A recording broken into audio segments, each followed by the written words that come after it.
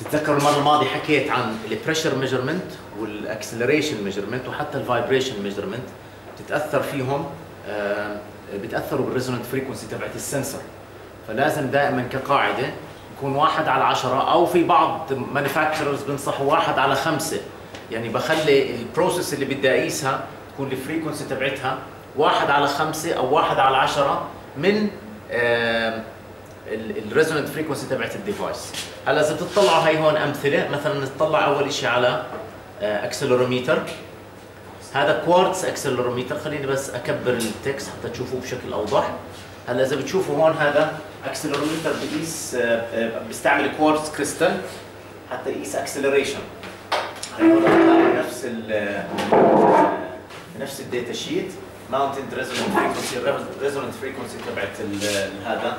حوالي 22 كيلو هرتز فلذلك بتشوفوا ال frequency range أو ال frequency range تبعت هذا أقل من هاي فبستعمل ال frequency range أقل من ال freq من ال resonant frequency تبعت ال device اذا هذا بنطبق على ال acceleration بنطبق كمان على هذا هون عندي vibration analyzer بجهاز ثاني من من شركة ثانية جهاز مختلف. هذا هون بيقيس vibration وبيعمل طبعا FFT ومش هيك ال fast Fourier transform ليش بهمني أعمل fast Fourier transform مشان اعرف ال frequency content تبعت وأحيانا إحنا بنيجي على جهاز وبدنا نعرف الجهاز الميكانيكي هذا. مثلا في عندي جهاز ميكانيكي فيه مشكلة. عماله بطلع vibration عند frequency معينة بهمني آخذ ال signal وأقيسها وأحللها وإذا عملت عليها fast Fourier transform ممكن أفهم سبب المشكلة في الجهاز الميكانيكي هذا. هذا مهم جدا.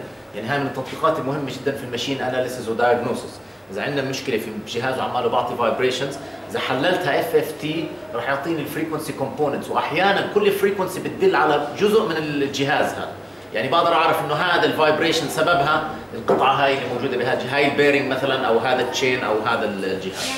يعني الجهاز. تمام. هلأ هذا عادة بيكون عليه مثلا فرضا هذا ال vibration analyzer ممكن يكون عندي جهاز مثلا محرك induction motor أو gear box أو وفي عندي vibration بدي أعمل analysis عليه حتى أفهم إيش سبب المشكلة اللي موجودة فيه.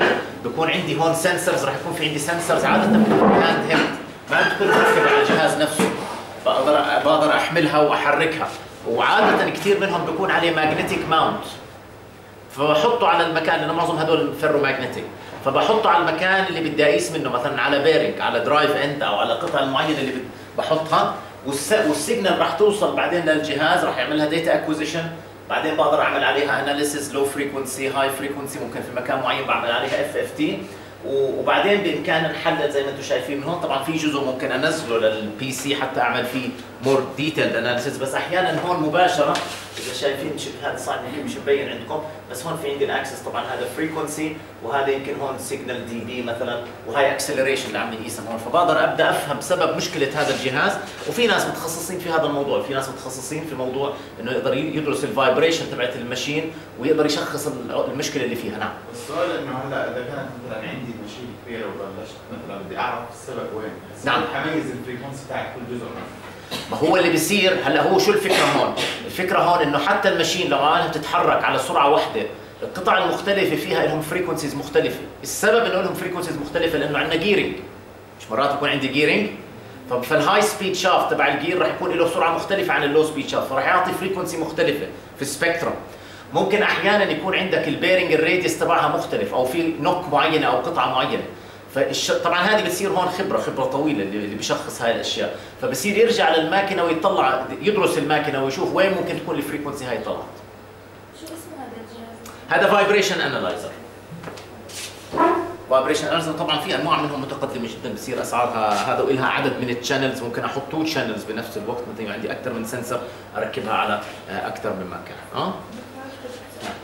هلا المشكلة انه magnification بالضبط. طب ما بقدر أعمل compensation يعني؟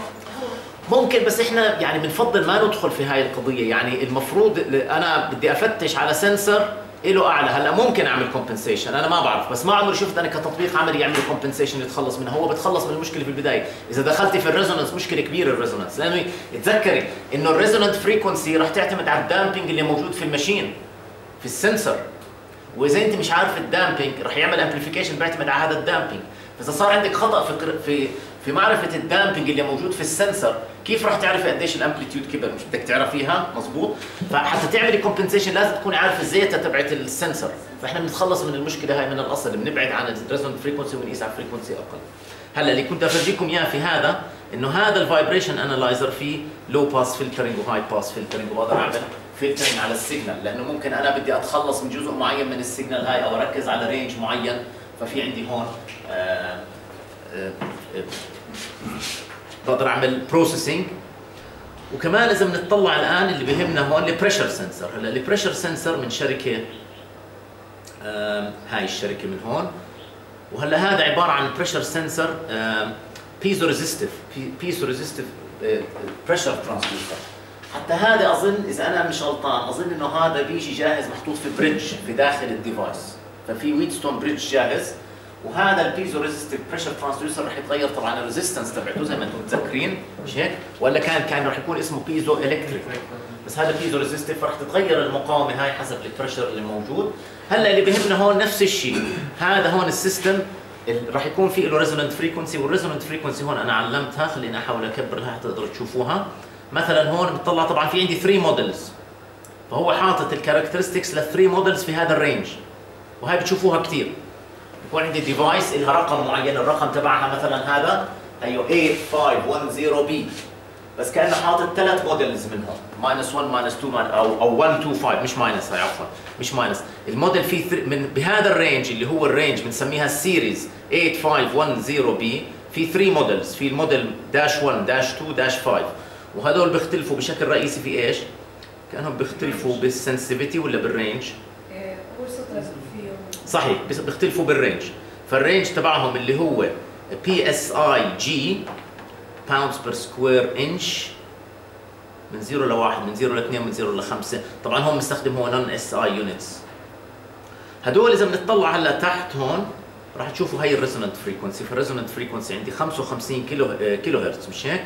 55 kilohertz لواحد منهم 70 kilohertz للي بعده و85 للي بعده. إذا اتبعنا واحد على 10 راح ننزل على 1 decade below هلا ما أحيانا بعتبر 1 decade below كثير لو نزلنا على واحد على خمسة يعني بدل واحد على 10 بدنا نلتزم ال process تبعتنا تكون ال frequency تبعتها أقل من ال resonant frequency تبعت هذا ال device وهذا المثال اللي شفناهم. pressure و acceleration